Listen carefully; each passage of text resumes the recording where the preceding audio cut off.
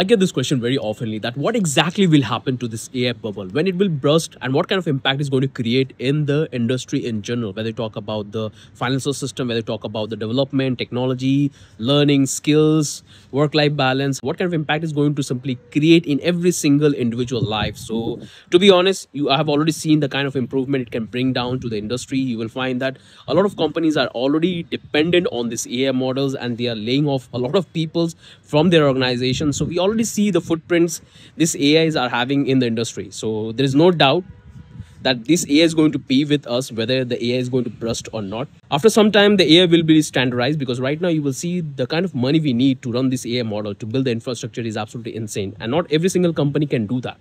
So that's why you will find that big tech giants are already investing a lot of money.